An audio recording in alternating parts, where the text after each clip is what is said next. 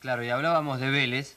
Claro, debutó técnico, pero no ganó Vélez Arfield. Se fue del Nacional y entró con el pie izquierdo a este campeonato de Primera División. 2 a 1, perdió hoy en Liniers con Unión de Santa Fe. Los goles.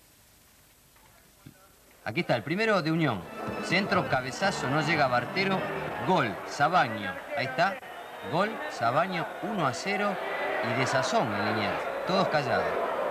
De vuelta al centro, llega Centurión, no llega Bartero y 2 a 0. Ahí está, le pega, vamos, pegan Bartero y el 2 a 0 para Unión de Santa Fe. Preocupación en el equipo de Vélez Arfield. Miren ustedes, silencio en las tribunas. Ahora va a venir el descuento. El descuento de Vélez Arfield. Pelota para el medio, va a venir el centro. La Raki que llega por el medio, le pega, centro, cabezazo y 2 a 1.